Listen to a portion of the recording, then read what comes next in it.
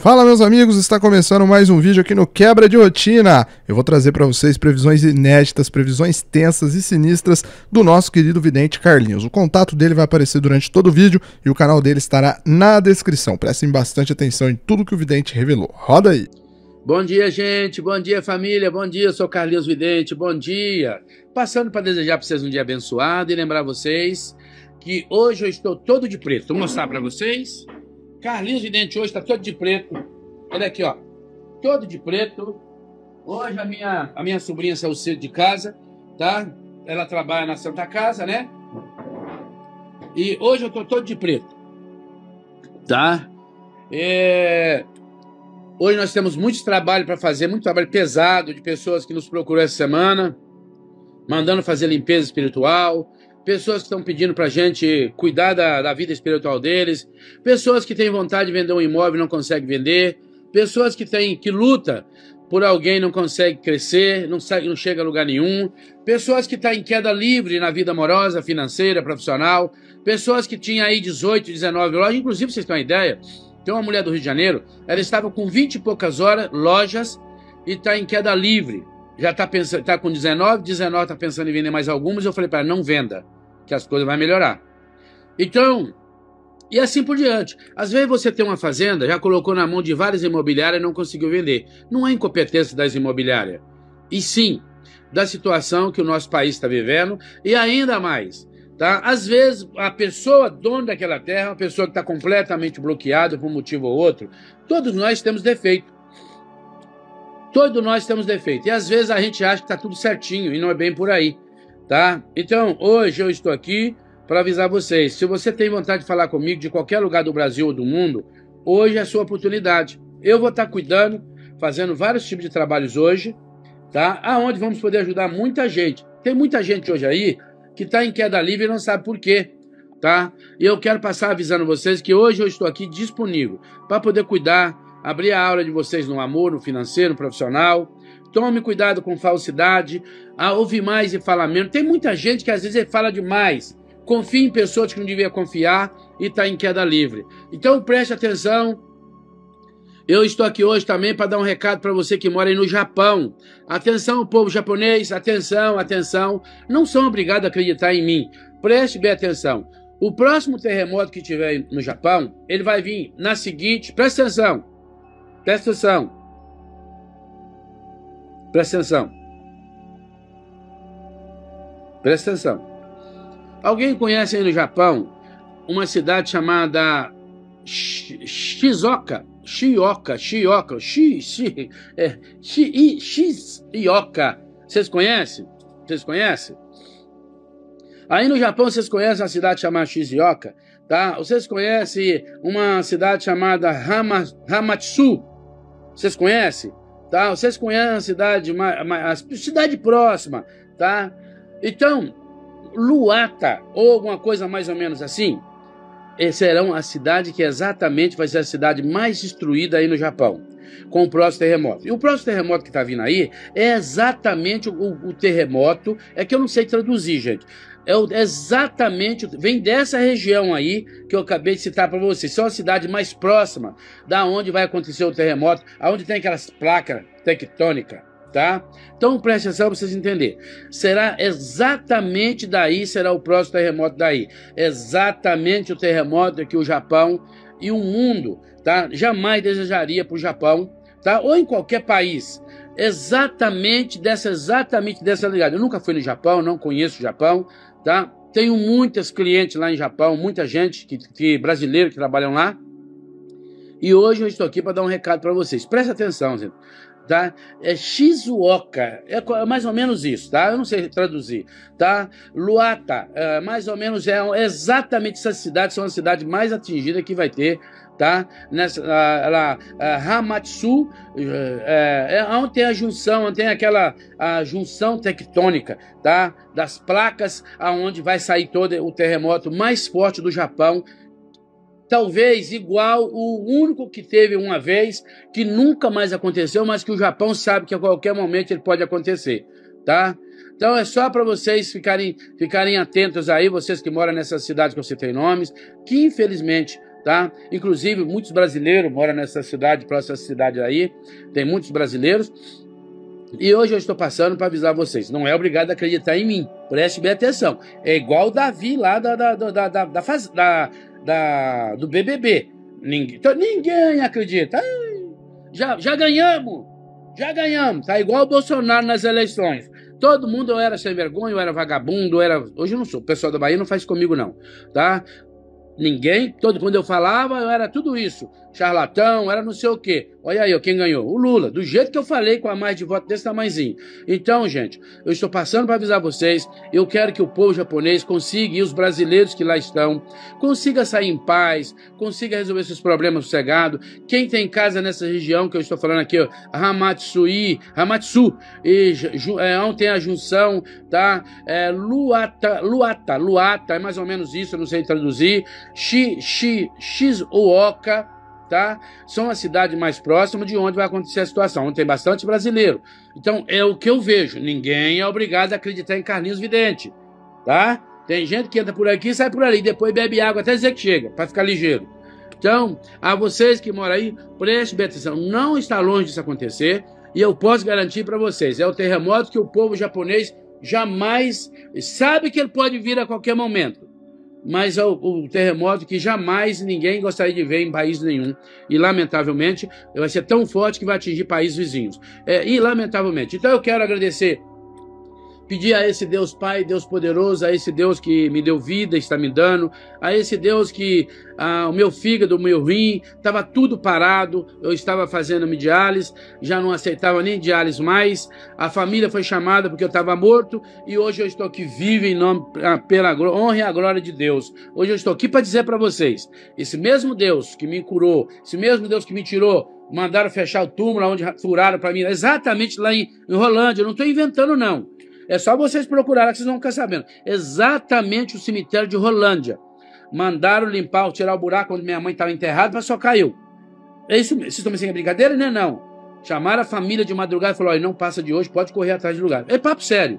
Foi todo mundo para uma pastelaria de frente, reuniu todo mundo, é, todo mundo reunido, tá? É, agora ele, ele vai. Tô aqui vivo, sete horas da manhã, tá os olhos mineirinhos. Primeiro zóio que abriu, primeiro zóio que abriu foi esse aqui, ó. Olhei para cima. Dessa vez eu não vou, não. Vocês podem sair, pode sair fora, desmanchar a filhinha de vocês aí. Pode levantar todo mundo do banquinho do pastel. E lá em frente o HU. Abri esse olho. E fui abrindo outro. Tá? 56 dias entubado. 14 paradas cardíacas. Tá? Dois pulmão furado. Respirando com metade de um. Eu tô aqui tranquilo da Silva. Cara, está certo. Tá certo que eu tenho um galão de oxigênio ali maior do que eu ali. Tenho. Ah, esse menino falou, ah, vocês estão achando que eu tô mentindo? Vou mostrar pra vocês, ué. Tá dentro do quarto da minha sobrinha aqui. Pera aí, uma... dá licença, Maria. Vou mostrar pra vocês aqui. Ó, dá uma olhadinha aqui. Ó, olha isso aqui, ó. Tá vendo? Aonde eu, aonde eu tenho que dormir, olha, o galão de oxigênio aqui, tá vendo? Ó? Ninguém acredita às vezes, né? Maria, gente, é uma moça que dá uma força pra gente aqui. Ela, de vez em quando, vem aqui na casa da, da, da Franciele dar um trato pra ela. Tá entendendo? Que a Fran não tem tempo, é trabalha de, de cuidando, de aplicando injeção nos outros. Ainda queria, queria fazer Israel como testa de ferro, né? Eu tô fora. Minha sobrinha, tio, deixa eu aplicar a primeira injeção no senhor. Eu falei, tô fora. É ruim. tá entendendo? Então é assim. Esse mesmo Deus é o Deus que vai cuidar do seio do Japão, de todo o pessoal nessas guerras. Que Deus venha abençoar que essa guerra acaba logo. Que esse Vladimir Putin é, venha sofrer as consequências de Deus e não do homem da terra a gente sabe que ele corre um sério risco aí de a qualquer momento o pessoal achar ele de jeito lá, tá entendendo? De jeito e acabar com essas guerras aí. Enfim, mas para Deus nada é impossível e assim eu digo para todo mundo: quando a sua fé, você achar que a sua fé tá pequeninica, que esse Deus maravilhoso não exista para você, é porque você está ficando maluco ou maluca. Quando você acha que Deus não está do teu lado, que Deus não está te olhando, você está pirando porque para Deus nada é impossível. Deus é maior do que o médico, maior do que o pai de santo, mãe de santo, zelador de santo, vidente, a tudo. Nada nesse planeta é igual a Deus. E para Deus te abençoar, você tem que correr atrás dele, não ele atrás de você. Tá bom? E eu sempre acreditei em Deus. Quando eu caí naquela cama lá para ser entubado, a moça passou, a enfermeira falou que eu vi aquele monte de aparelho chegando, aquele negócio de para expirar. Eu ainda conversava muito mal, não estava podendo respirar direito. Eu falei, você não vai me entubar, né? E a lágrima já descendo. Ela falou, ó, ou nós te entuba ou você vai morrer. Você não tem fé em Deus? Beleza, eu falei, então tá bom. E aí eu pedi para Deus, para todo esse santuário que vocês veem aqui na minha mesa aqui, eu disse, até como hoje, para vocês entenderem o que eu quero dizer, como é que a fé é grande. Falei, meu Deus, o povo, algumas pessoas dizem que o Senhor não existe. Vocês podem não acreditar nisso, eu disse isso. Deitado naquela maca e vendo a moça encaixando as coisinhas lá para poder colocar em mim. Que esse tubão desse tamanho pro nariz afora. Eu falei, meu Deus, o Senhor pode não existir para algumas pessoas, mas para mim o Senhor existe. E se o Senhor existe, você não precisa provar nada para mim, me dê vida. Eu tenho centenas de pessoas e filhos é, que não são de sangue, mas são pessoas que recebem comida no Brasil inteiro através do meu, do meu trabalho, através do meu coração, da minha boa vontade. E eu creio no Senhor. E aí eu disse: Eu creio em Nossa Senhora Aparecida. Eu farei 15 viagens a Aparecida do Norte se o Senhor me curar. Toda 15 viagens. Tá ainda? Eu disse isso. 15 viagens a Aparecida do Norte. Eu creio no Senhor. E a Nossa Senhora Aparecida, eu disse a Nossa Senhora de Fátima, eu vou em Fátima ver a Senhora, me recupere, me deixa, não me deixa ir embora, porque eu tenho muita gente para cuidar. Além de filhos, e os filhos que não são filhos, mas filhos de coração, aonde eu mando comida no Norte, no Nordeste, no Brasil, remédio para aquelas pessoas que hoje estão tá em desespero como eu, Hoje eu te peço, meu Deus, eu acredito no Senhor. Nossa Senhora de Fátima, Nossa Senhora do Perpétuo Socorro, todos esses nomes eu disse. Nossa Senhora Aparecida, Nossa Senhora do Perpétuo Socorro, Santa Rita de Cássia, Santa Isabel, Santa Luzia e São Miguel Arcanjo. Neste momento de aflição, você lembra de tudo acontecendo que você jamais um dia foi atrás dele. É aí que você tem que entender que você tem que buscar Deus. E assim eu fiz. Eu fiz desse jeito. Vocês podem não acreditar. Hoje eu tenho todos eles no altar casa dos outros é verdade, mas está aqui. Um dia eu ainda pretendo fazer um lugar para colocar todas essas imagens e aonde as pessoas vêm de qualquer lugar do Brasil para visitar esse santuário. Que eu tenho fé, que você pode ter fé, que você pode buscar, tá? O cemitério onde me enterrar tiveram que tampar de volta o buraco. Às vezes eu vou lá, o coveiro olha para minha cara e fala assim: "Eu furei o buraco para te enterrar".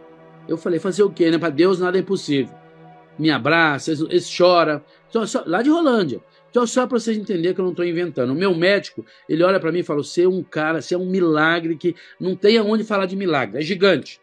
Tá? E a, e a irmã Dulce, que eu vim conhecer exatamente quando foi me visitar, eu estava entubado. Entubado. Uma hora, vocês procuram achar lá, em, lá, em, lá em, na Bahia, no santuário de Irmã Dulce, na igreja de Irmã Dulce. Vai lá para vocês verem se não tem tudo meu vídeo, tudo meu lá, comentando o milagre que eu recebi. Agradecendo a ela por ter me visitado.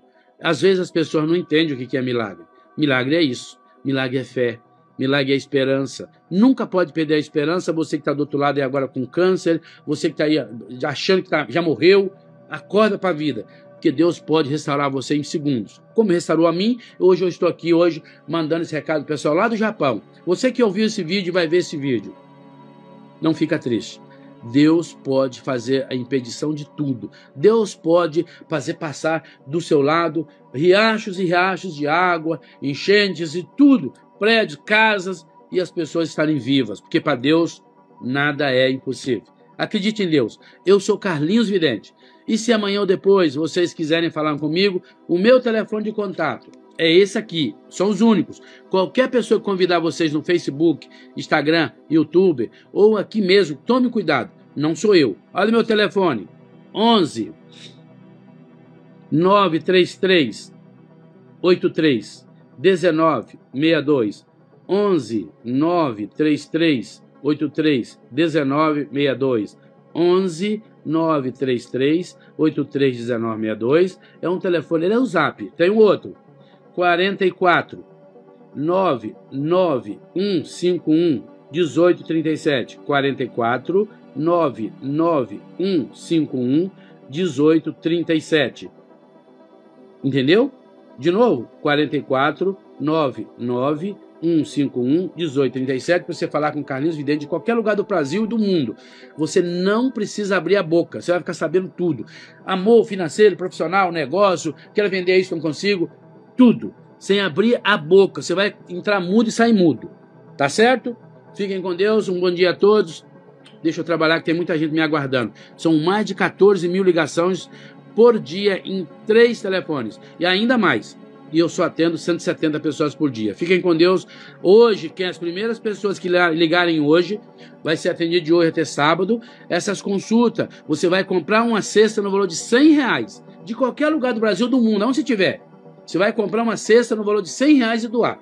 É isso aí tá? Você pode ligar aqui, ligar ligar nesses números, falar, eu quero, quero, faz, quero fazer, quero fazer uma consulta na, com uma cesta de 100 reais. Aí você vai, o, o, esse telefone vai passar para vocês como fazer, tá bom? Fiquem com Deus, eu amo vocês. Que Deus venha dar muita luz para vocês. Uma feliz Páscoa, gente. Ah, sexta-feira eu estarei aí em Rolândia. Sexta-feira eu estarei em Rolândia entregando computadores para as crianças que estão tá estudando tá? Nós vamos estar entregando, gente, 60 computadores desse aqui, ó. Vou mostrar para vocês, ó. Para as crianças que não têm condições de comprar um computador, tá na caixa, ó. São 60 desses, ó. Tá tudo na embalagem, 60. Olha aqui, ó. 60. Parece uma malinha, tá vendo, ó? Para as crianças que estão tá estudando aí em Rolândia. Presta atenção, gente, ó. Qual é a criança que não, quer que não fica feliz ganhando um computador zerado desse aqui? Olha aqui.